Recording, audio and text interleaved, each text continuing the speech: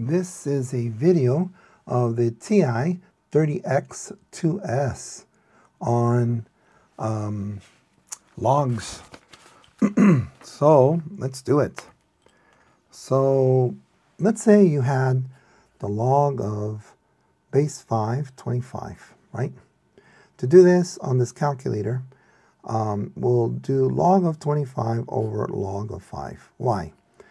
Well, this is log of base 5. These calculators usually don't have a different base other than 10, which is this one, this key right here. So we need to rearrange it. And there's a mathematical way of doing this. So all you need to remember is 25 is on the top, log of 25, and divide by the log of 5, and you'll get it. Okay, so, um, and so this is, um, we're going to press clear here and we'll press log here, 25. We're going to close it, divided by log 5. We're going to close it, and then equals gives you 2. Very straightforward. Let's say you have the log of base x, 25, equals 2. There's a rule that says that the, log that the log of a, b equals c is the same thing as a to the c equals b good law to remember. So here, x to the second power equals 25. And then we take the square root on both sides. x equals the square root of 25. So in this case, square root is right here. Second square root 25 equals, and that's 5. I think we knew that.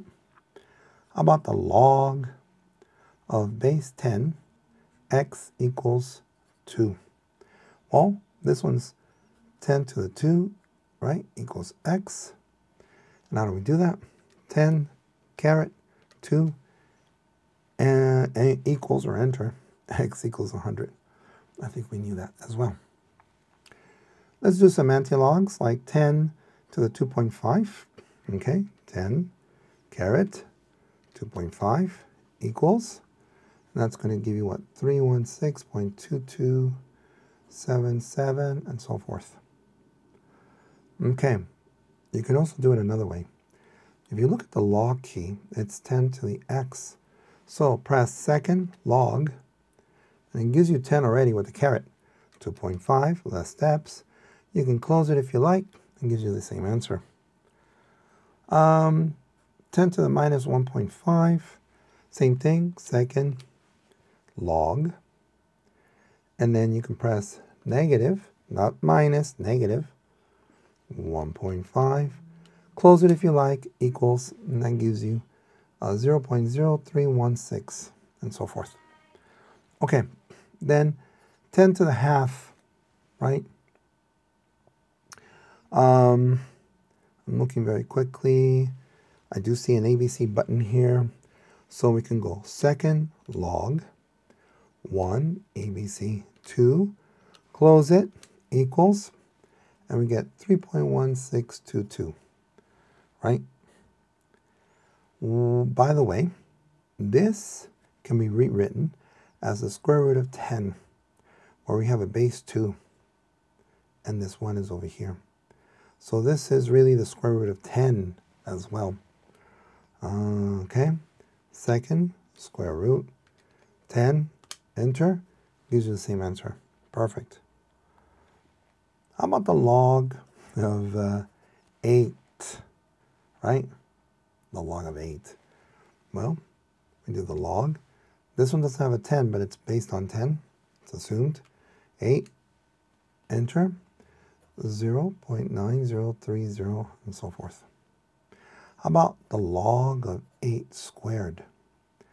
Well, you take the log, 8, and then you square it, close it, equals 1.8061, right?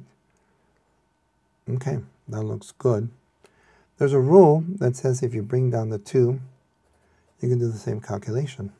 2 times the log of 8. Well, that's 2 log 8.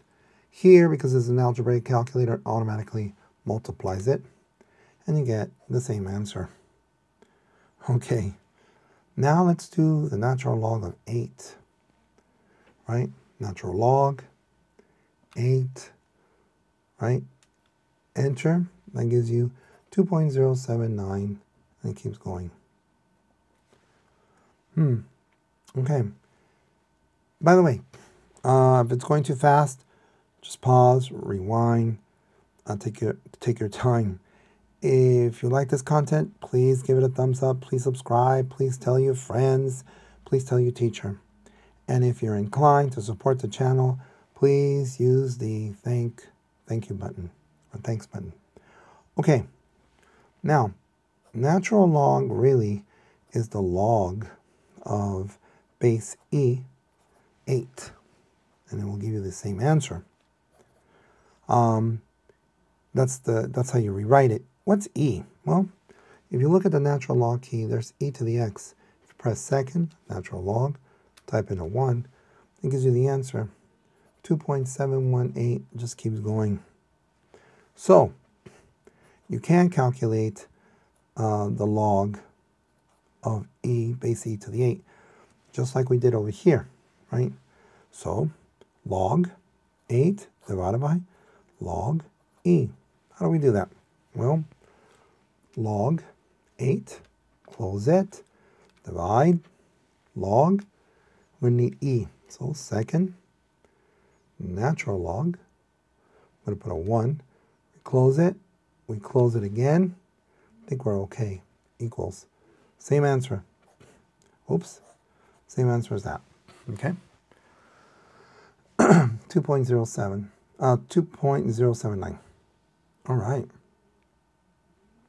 That was easy.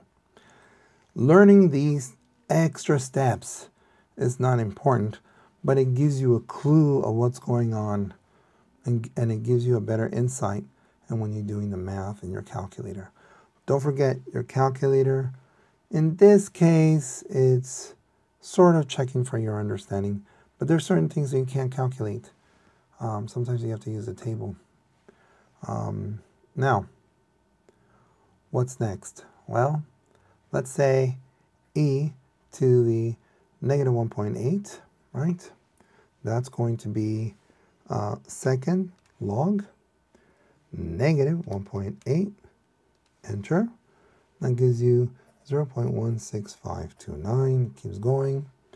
And then the natural log of x equals 3. How do you do that? This is the natural log, which is really the log of e to the x equals 3. Using this rule again, e to the third equals x.